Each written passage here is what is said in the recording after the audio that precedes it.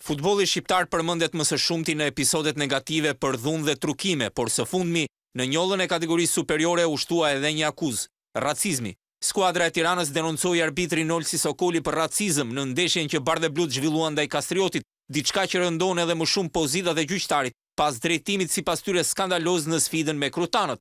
Klubi i futbollit Tirana dënon ashpër gjykimin skandaloz në ndeshjen Kastrioti-Tirana, Gjatë nëntëdhjetë minutave gjyqtari Olsi Sokoli ka vendosur të ndikojë në rezultatin final. Fillimisht ka provokuar me shprehje raciste futbollistin Michael Ngo e më tej ka dëmtuar skuadrën me vendime arbitrare. Fjalori me të cilin gjyqtari ka provokuar lojtarët e Tiranës dhe stafin, bën klubin të kërkojë një dënim radikal. Tirana kërkon përjashtimin nga futbolli të gjyqtarit Olsi Sokoli për gjykim të paprecedent komunikim ofendues dhe përdorimin e shprehjeve raciste.